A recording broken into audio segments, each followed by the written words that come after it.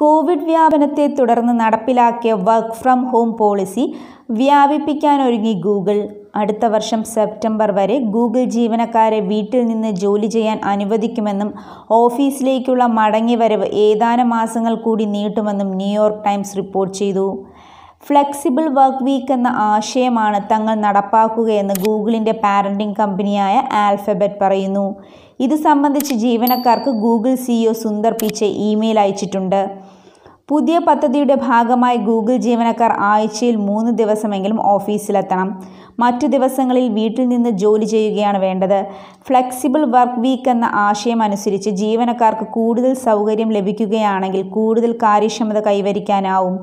പുതിയ work model കൂടുതൽ ഉൽപ്പാദനക്ഷമത സഹകരണം ക്ഷേമം എന്നിവയിലേക്ക് നയിക്കുമെന്ന് സിദ്ധാന്തം ഞങ്ങൾ പരീക്ഷിക്കുകയാണ്. സുന്ദർ പിച്ചെ ഇമെയിലിൽ കുറിക്കുന്നു.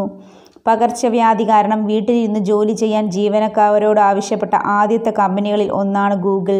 അടുത്ത വർഷം ജനുവരി മുതൽ ജീവനക്കാർ ഓഫീസിലേക്ക് മടങ്ങണമെന്ന നിർദ്ദേശം നേരത്തെ ഗൂഗിൾ നീട്ടിവച്ചിരുന്നു.